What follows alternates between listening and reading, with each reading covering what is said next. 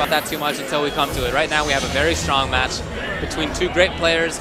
Man who won uh, final round with, with Balrog about a year and a half ago, has taken tournaments with his Balrog, and now in AE 2012 when he thinks the Balrog is a good character again, he's been playing very strongly. Fuudo, like I said, 2011 EVO champion. You Fei cannot Long- count him out. Now, Fei Long has been nerfed a little bit since last year. Let's see if that's actually going to make a difference. It's an interesting matchup too because you have two players who have great, reactions, and so things that are, you know, often mix-ups are not necessarily mix-ups on these two guys. You have to play a little bit differently. Right now, PR Rog has yeah, PR, he had the advantage. A little bit of an unsafe range there on the dive on the uh, dash punch. The dash punch is minus three, so it can be punished with three frame normals. Very hard.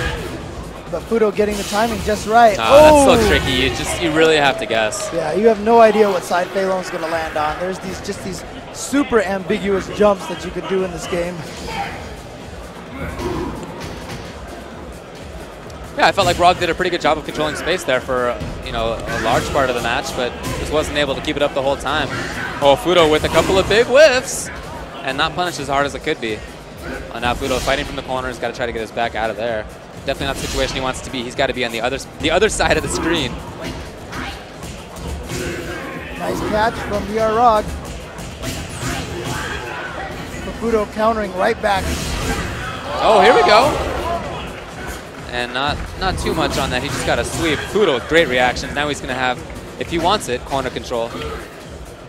Looks like he's staying light on it. He's looking for dash punches. He's looking for good ranges. He doesn't have much life left to take a lot of risks. Next hit could potentially be it for Fuudo in this round. And don't don't look for PR Rog to take too many risks either. Oh, there it is right there. That's the combo, and you're right. That's the round. And even if he hadn't killed him with that headbutt, he had the ultra all lined up, ready to go for the juggle. So interesting. Both of them are looking for those neutral jumps because they both have moves that are very important to their games that move them forward horizontally pretty significantly. Yep. Ooh, just waited. He didn't even have a button coming out. PR Rog.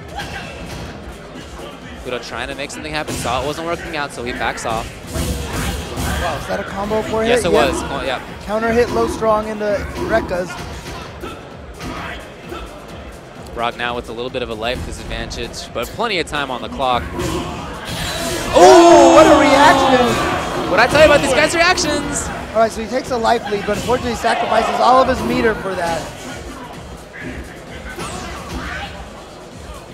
I wonder if Rog's looking for chicken wing. Oh my, god, that's I love that because he had just Rog had just made Fuudo believe that he was just gonna sit back, and he went up for the grab, started the sequence. Now, Fuudo now has to make something happen. Again, tried it. And plus the other thing, PR Rog has recognized that Fuudo likes to wake up with that chicken wing. It's a clutch that he's been going to, and twice in a row he had greeted it with a jump back fierce. And that's allowed PR Rog to take the first game. He's up 1-0 against last year's Evolution champion. Still reigning champion. He's not he's not the, not the champion until you knock him off his post. That's true. And this is winner's bracket, so whoever loses this will still be, oh wow! Look at that run. You see that spot on screen where he was standing? That was the exact spot for that to work out. And here Fuudo has got to settle down a little bit. He's been caught. Yeah, he's been caught. And I hope he wakes up because he's one round away from going to loser's bracket. And you can hear the audience going nuts. They want to see more U.S. players in top eight this year. Last year we had three, and Fuudo ended up taking it all. And Rog so trying far- to maintain that spot on screen that worked out so well for him last round. Yeah, PR Rog has honestly shut down the chicken wing so badly. Chicken wing, of course, being that arcing kick that Fei Long does. It's strange because I, I feel like Fei is so good at shutting down some of Rog's important options, but we really haven't seen that come into play all that often. Yeah, well, I always said the one thing, key thing about PR Rog is he does not touch a lot of buttons. He's very careful. No, actually, PR Rog does touch He- a he's a- he's a button toucher. Yeah, He- he likes to hit jabs a lot. Yeah. But right now, I mean, I, I think the reason why I'm a little surprised is because he's playing a little out of his normal style because he really is playing very patient right now. Well, it's been working out for him, so I hope he doesn't switch it up too much. I mean, he went in there and got, you know, anti-aired for his trouble.